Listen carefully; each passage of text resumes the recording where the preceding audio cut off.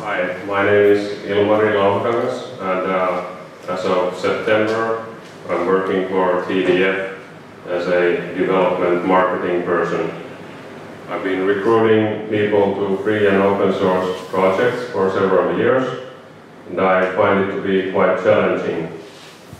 Today I'm going to talk about a very specific way to recruit contributors. So TDF has been using a volunteer recruiting platform called Volunteer Match since April 2018. Before I tell you about our experiences with it, I will make clear the benefits. So we've been able to reach people outside our usual sphere of potential contributors and we have been forced to look at our technical documentation uh, critically and to refine it. And also having a presence on Volunteer Match increases awareness of LibreOffice and the structure of our contributor community. Well, and then comes the shocking fact. We get uh, contacts dropping out without doing any work. So after this dose of positive thinking, we can face the harsh reality. It has been an enormous challenge to figure out how to approach this source of volunteers. If we look at the statistics, we see a rather curious pattern. The stats show uh, 38 contacts for C++, 89 for quality assurance, 33 for user experience design, and 8 for documentation. We also have opportunities for visual design and marketing, but there was no point in including them because visual design only received two contacts and marketing has never received contacts at all. So only five persons in quality assurance and one person in documentation did any actual work. So we get plenty of contacts, but very few of them move to contribute. When responding to the contacts in the beginning, I was inevitably fumbling in the dark as I was lacking the experience. The experience and understanding built up quite slowly as I could not really draw conclusions on anything after several months. After witnessing contact after contact drift away without ever starting to contribute, it became apparent that this platform was not some magical funnel of contributors. We would have to deal with this as a problem to solve rather than as a turnkey solution.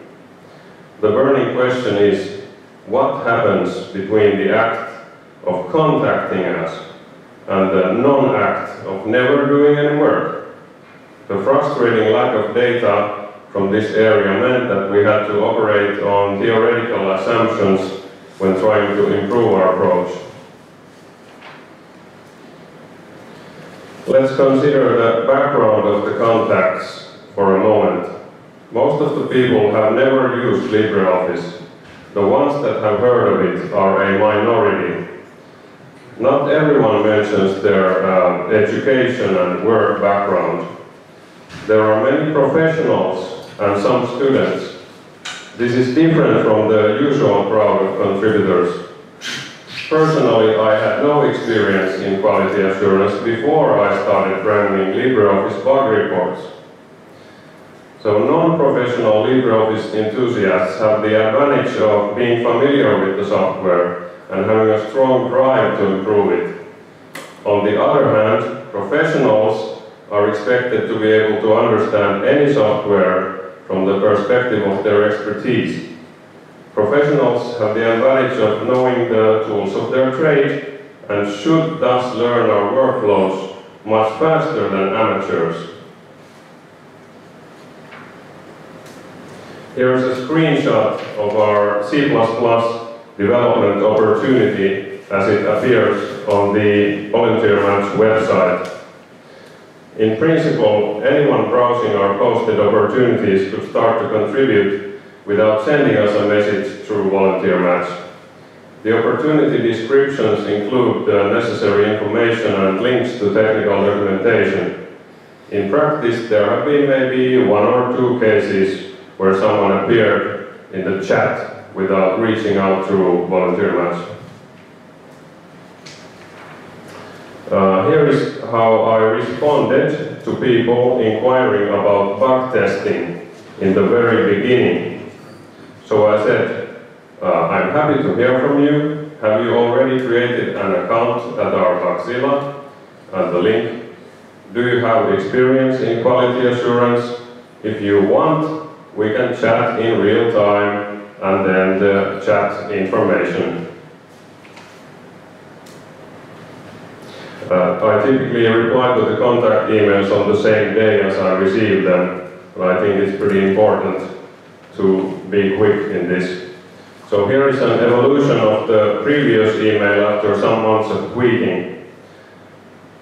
So it goes like this. Triaging, analyzing newly arrived bug reports is by far the most time-consuming activity for us. We get anywhere from 600 to 800 reports per month, here is our guide for getting started with triaging.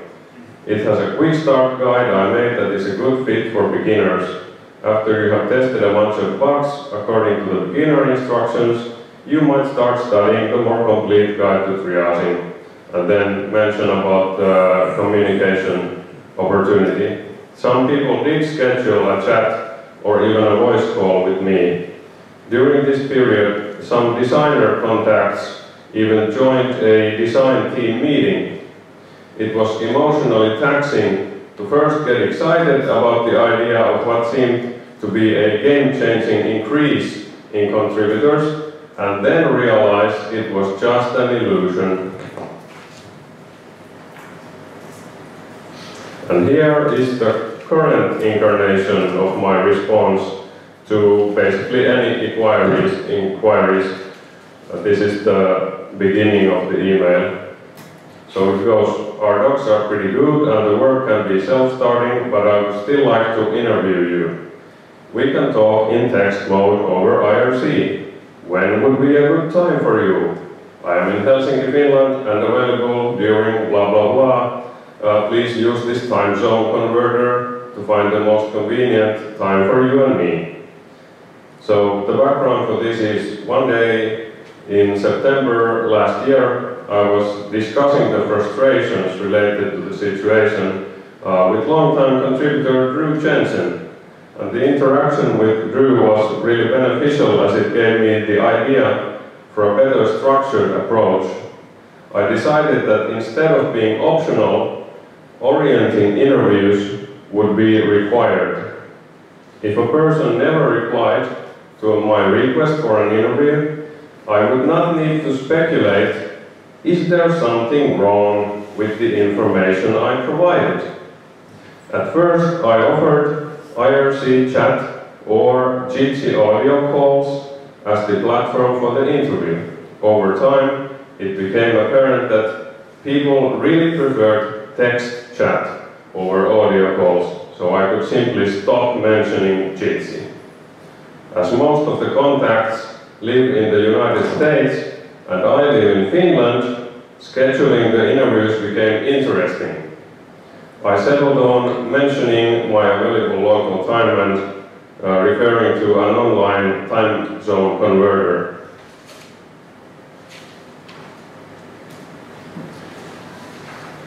So the interviewing is a good method to fill gaps in understanding basic concepts.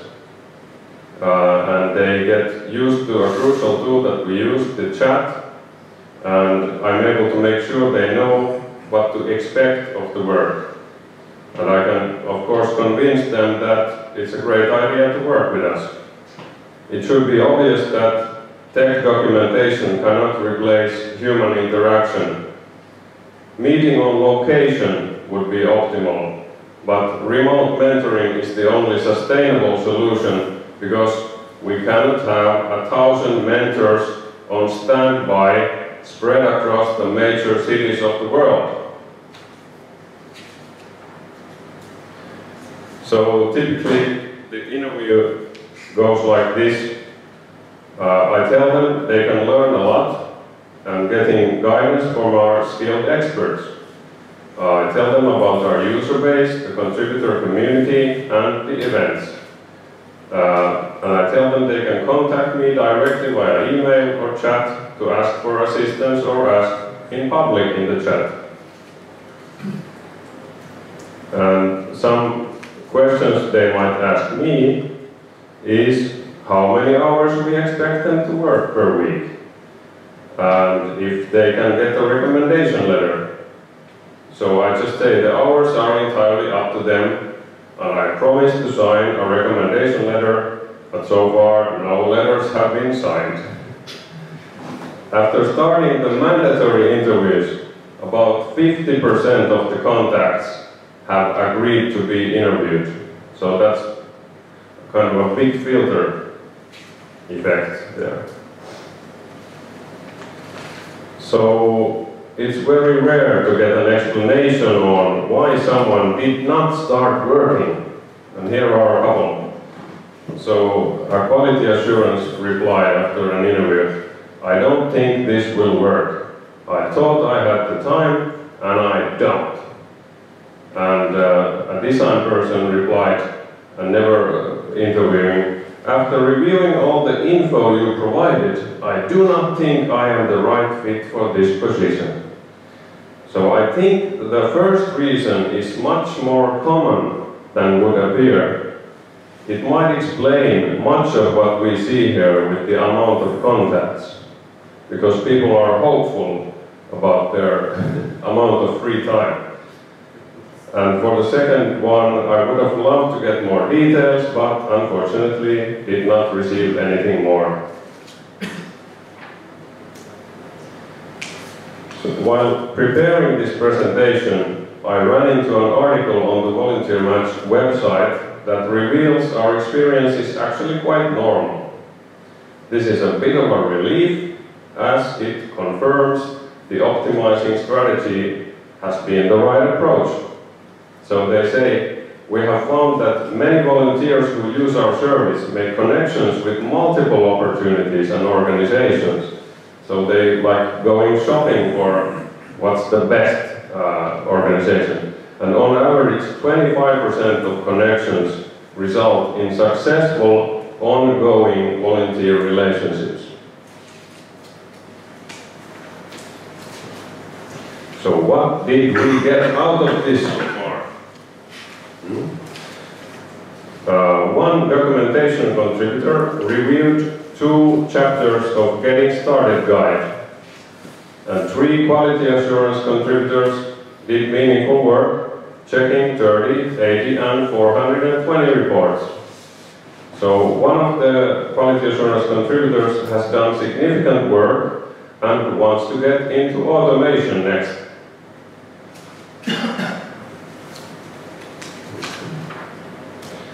And some random interesting things. We got two inquiries from students who were in the USA on an F1 visa.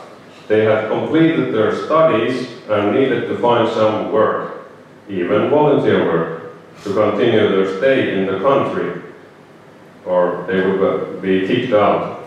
This happens in the context of a thing called optional practical training, Unfortunately, TDF does not have a branch office in the United States, so we were not able to help them.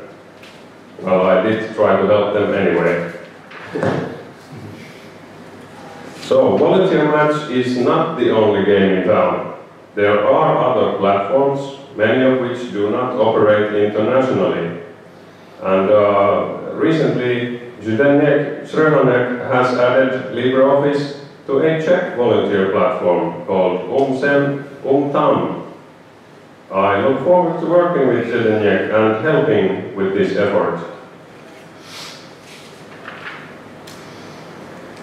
As recruiting continues to be such a challenge, I have started wishing we had science to guide us. It turns out there is a genre of scientific literature about contributors in free and open source software and how to recruit them. The researchers are doing helpful stuff and I hope uh, to somehow work with them in the future.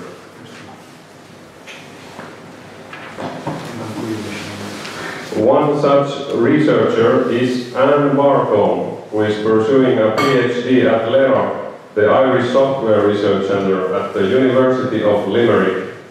This year, she released a paper called Why Do Episodic Volunteers Stay in Free and Libre Open Source Communities? It is based on a survey to test a proposed model of factors associated with keeping contributors in free software projects. So even though the paper was specifically about irregular contributors, I found it useful that it considered different motivations in a fine-grained way.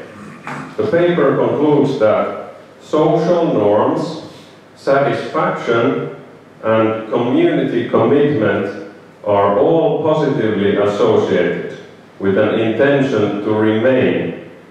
In the results of this particular survey, contributor benefits were not related with intention to remain. What are these contributor benefit motives? Uh, they included, I want to be recognized for my contributions, I want to receive a tangible acknowledgement of my contributions, I volunteer to get a reputation in the free software scene. I volunteer to improve my job opportunities, to make money, to learn and develop new skills. Uh, based on what I have observed, it would appear that among the people coming to volunteer match, contributor benefit motives are more strongly represented. In an email conversation, uh, Barcomb said benefit motives might have more of an impact in recruitment as opposed to retention. Thanks.